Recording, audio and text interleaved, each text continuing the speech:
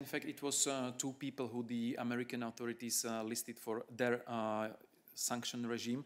On this, we will issue our reaction to this specific step uh, later today or tomorrow. But uh, in general, I can take, I can uh, remind you, or I can recall the statement of the EU 27 or of the uh, High Representative uh, Josep Borrell on behalf of EU 27 from the 16th uh, of July on the occasion on, of the Day of International Criminal Justice, which was on the 17th of July, where we, the European Union, the 27 member states, the European Union basically agreed to state that uh, the EU reiterates its commitment to uphold and defend the principles and values enshrined in the Rome Statute and the support of the EU for the International Criminal Court.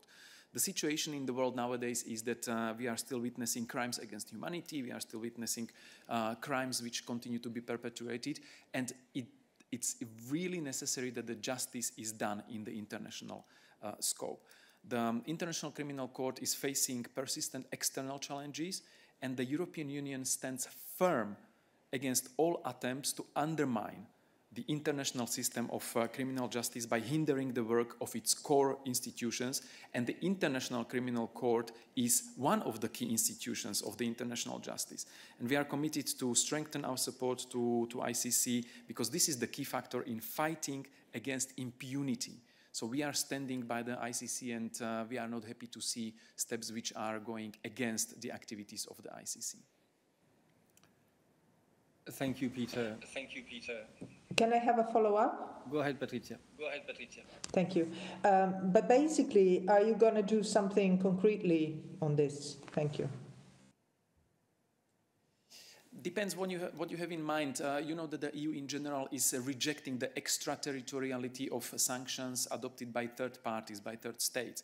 So, of course, we don't agree with this step. And what we do, the European Union, uh, over a long period already, is making consistent outreach with partners worldwide, worldwide in order to support the ICC, so encouraging states to, to participate, to join, to ratify and implement the Rome Statute of the ICC. And uh, if you have in mind concretely the United States, we are making outreach towards the United States. Also, uh, our delegation in Washington is, uh, has made our concerns known uh, already. You know that the decision from yesterday was announced a few weeks before, so there was also a statement from our side on this. So we conveyed our concerns regarding this to the American authorities, and we, we are having ongoing dialogue with them on this. And uh, we are concerned about the growing use of sanctions, the threats of sanctions, and uh, we are conveying the importance of fighting against impunity when it comes to the international justice. There are being crimes committed on the worldwide scale that need to be prosecuted, and the ICC, from the EU's point of view, is the key actor in delivering on bringing the justice.